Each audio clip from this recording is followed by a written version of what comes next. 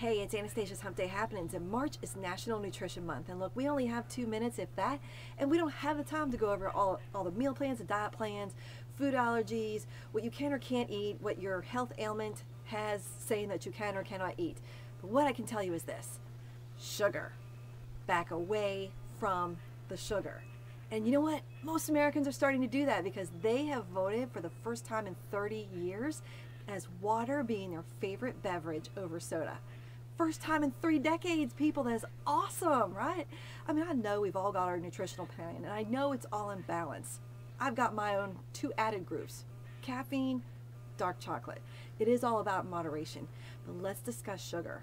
Sugar contributes to childhood obesity, it contributes to diabetes, and it contributes to tooth decay. You know, all of this not exactly healthy. Even yes, with adults, adult obesity. It's an epidemic and something's got to give. Check out how much sugar is in your sodas, your diet sodas, your fruit drinks, your drinks that have vitamins in them because we obviously don't eat healthy and this is a way to replace it.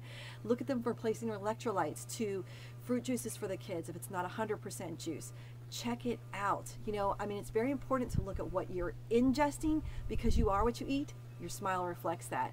So I hope this helps you out and congratulations Americans for finally getting it right. Make sure you increase your water intake and cheers to a healthy life, healthy smile. Till next Wednesday, take what you learn, make a difference with it.